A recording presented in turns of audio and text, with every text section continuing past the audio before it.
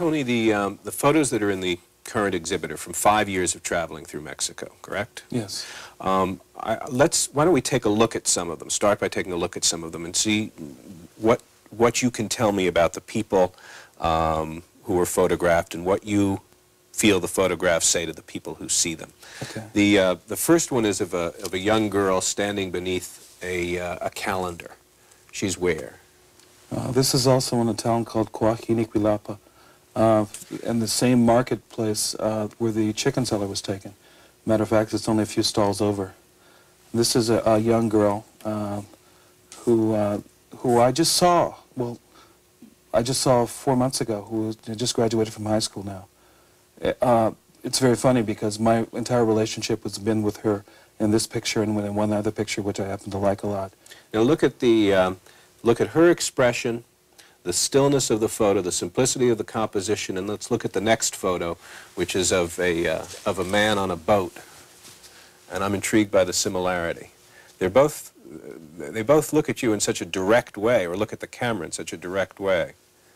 Um, the way that people are view, the way the photographs are pictured is is really a reflection of how I approach the people and the kind of space that I'm able to put them in.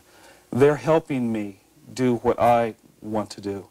Uh, this man really particularly doesn't care about having his picture taken, but he's I've made a rapport with him. I've made a rapport with the village.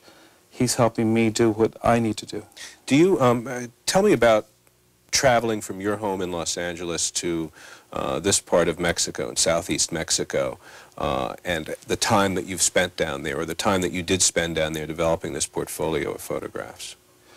Well, I get on a bus in front of my studio, take it to the border, get on another bus, uh, take it to the train, travel on a train for about two days down to Mexico City, take a night bus, and all this time I work myself into the country. I look out the window and see time go by.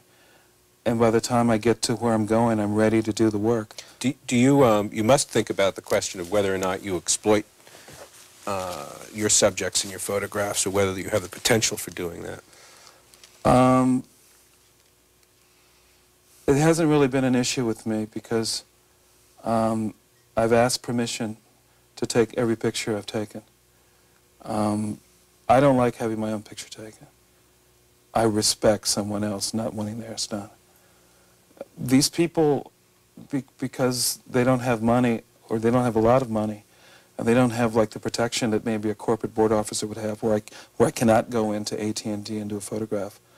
Uh, I these people are not prey to me simply because they live in a village and I can walk down the street and approach their house. Um, these are individuals with their own sets of wants, dreams, hopes, and aspirations.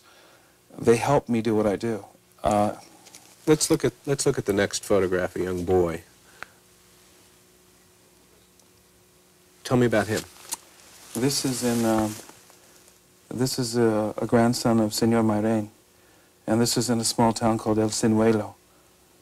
Um, and I had just come to this town for the day, I had been sent by uh, uh, Doña Zoila in Corralero, who who sort of passes me off to different people because she's. You want to go here and take a picture. You want to go there and meet someone.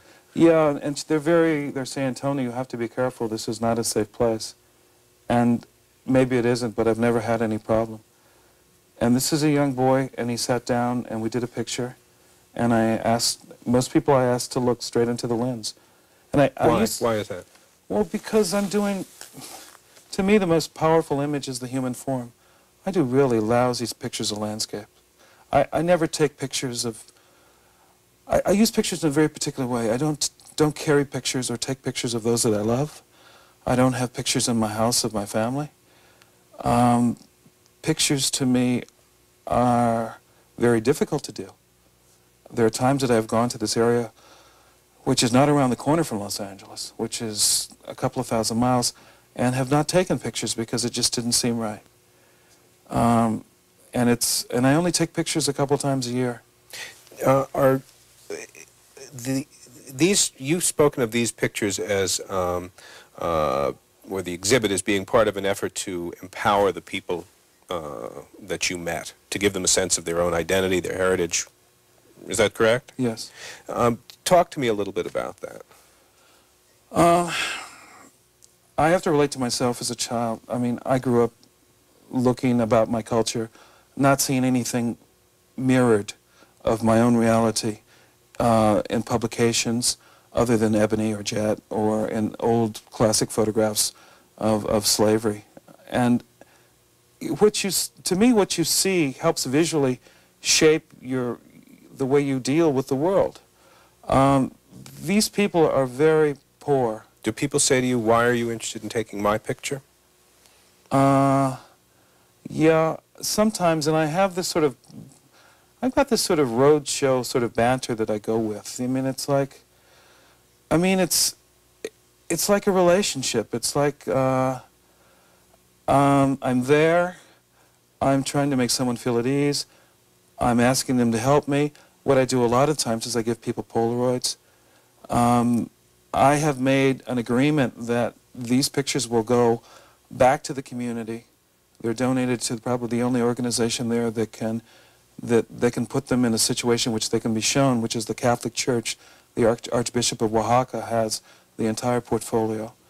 Um, they will be sent. Uh, the portfolio will be sent around to the different villages uh, in 1992, which is part of the Columbus celebration, and people can see themselves in not as they not as they sort of go about doing their work in their day-to-day life, but in very sort of, I think, ennobled, sort of empowered, you know, uh, pictures. I want to ask you uh, something about some of the aesthetics of the photos, too, and we'll do that when Night Watch continues in a moment.